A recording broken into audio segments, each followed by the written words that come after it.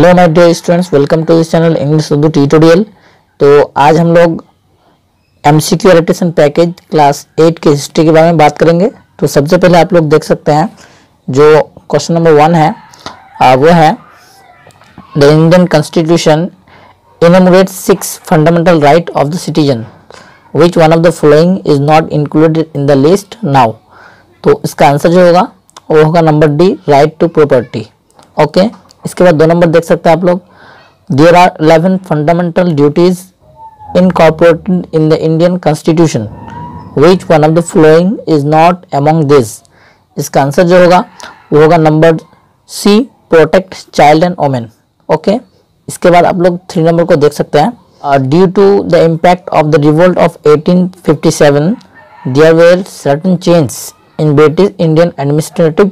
system which one of the following is incorrect इसका answer जो होगा, वो होगा number B India got the right to autonomy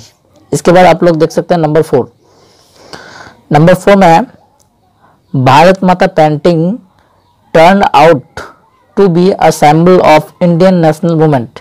in which context was it drawn इसका answer जो होगा, वो होगा नंबर सी स्वदेशी मूवमेंट ओके इसके बाद नंबर फाइव नंबर फाइव में आप लोग देख सकते हैं the contribution of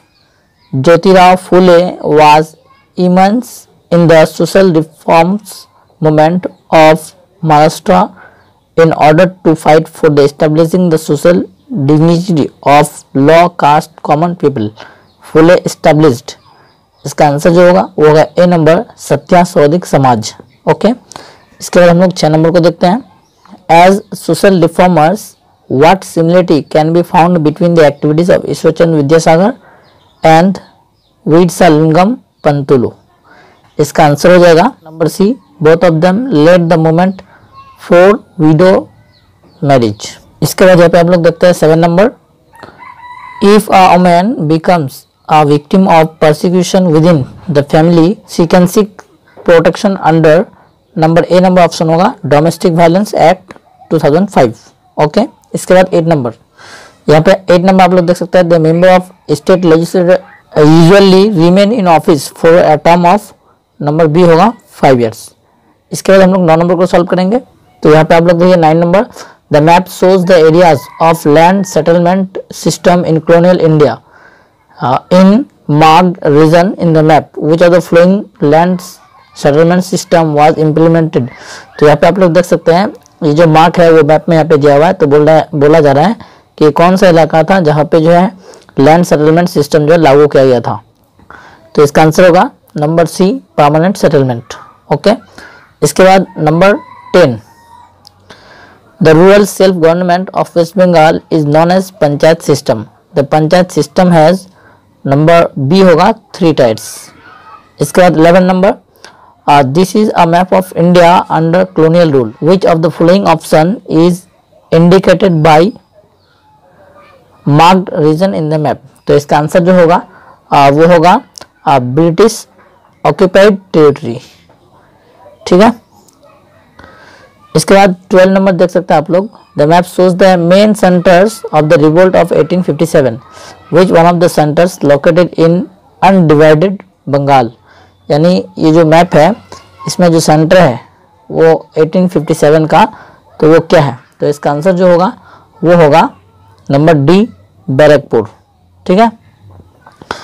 इसके बाद number thirteen Since 1969, the West Bengal state legislature has only legislative assembly. Almost all the members or MLAs are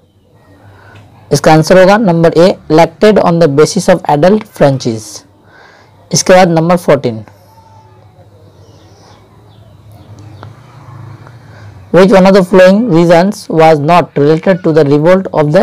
travels इसका आंसर होगा number D their unique culture was under threat इसके बाद number 15 in 18 1800 uh, Fort William College was established with the intention of